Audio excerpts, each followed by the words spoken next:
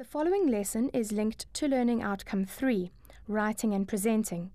It addresses the assessment standard that requires learners to reflect on, analyze, and evaluate their own work, consider the opinions of others, and present a final draft. Learners should be able to use set criteria for evaluation of their own and others' writing.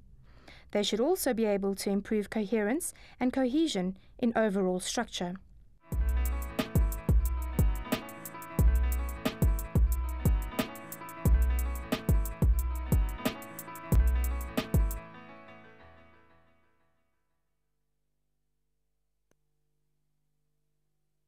Hello, welcome.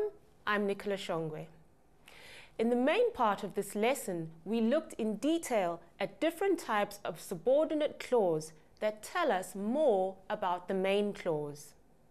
In this extension lesson, we're going to cover sentences for clear communication. So I'm going to teach you about writing sentences that are not only grammatically correct, but that are also informative and easy to comprehend. Here are the techniques that we're going to focus on. To learn to communicate clearly, put the main idea in the beginning. Use the active voice. Use an appropriate length of sentence and avoid ambiguity. Let's begin with the first point on the list.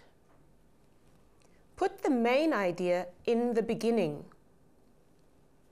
This conveys the message clearly, and then you follow it up with less important information. Here's an example. Calcium is essential in the prevention of osteoporosis, also known as the brittle bone disease that causes bone fractures in older people, especially females. Here, the main idea is that calcium is essential. It helps to prevent osteoporosis. This is the important information, and it's given first. After this, the less important information is introduced, such as another name for osteoporosis, brittle bone disease, and who the disease affects, older people, especially females. So the message is clearer if the main idea or the subject appears at the start of the sentence. Now let's move on to the next topic on the list. Use the active voice. Sometimes we use the passive voice because we want to sound more objective. But for most everyday writing, it's better to use the active voice because it's clearer and more direct.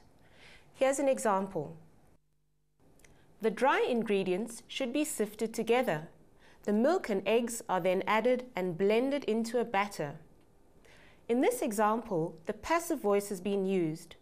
It is grammatically correct, but it does sound clumsy.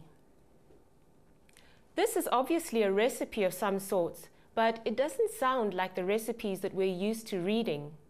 This sounds better. Sift the dry ingredients together. Add milk and eggs and blend into a batter. This is in the active voice. It is much more direct. The reader is being instructed. From this, we see that the active voice encourages action and that simple sentences are clearer and more direct. This brings us to the next topic on the list. We've looked at it before, but it's so important that I want to bring it up again. Use an appropriate length of sentence. But remember the warning, don't make your sentences too long and confusing. Be on the lookout for the following indications that your sentences might be too long. The first indication is if there are very few full stops. This means that you probably haven't given enough breaks or pauses between the different ideas and thoughts. The next indication to look out for is linking words. Linking words or conjunctions such as and, but, or because all indicate that you're moving on to a new idea. So stop and consider whether you should rather be starting a new sentence. The next indication that your sentence may be too long is commas. We've learnt before about the comma splice error.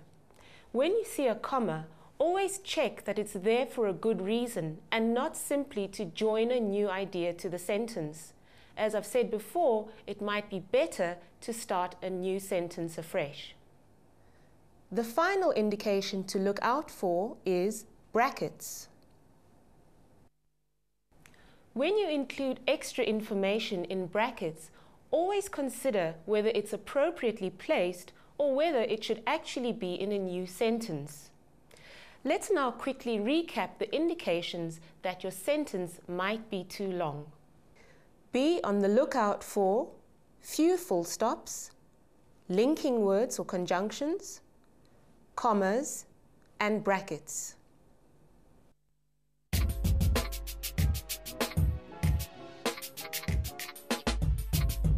Remember, we're learning about communicating clearly, and we've just learned how important it is that your sentences are of the appropriate length. Let's move on now to the final technique for communicating clearly.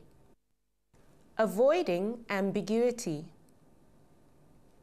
Ambiguity means that there is more than one possible interpretation. Look at this sentence and see if you can find two ways that it could be interpreted. We heated hot chocolate because it was cold. What was cold, the weather or the hot chocolate? This sentence does not make its meaning clear. Here's another example. Sipho wanted to play soccer very badly. Does Sipho want to be a bad soccer player or is he desperate to take up the sport? Well, from that sentence, we can't tell, so the sentence is ambiguous. The main cause of ambiguity is that you know what you're trying to communicate, but your reader doesn't.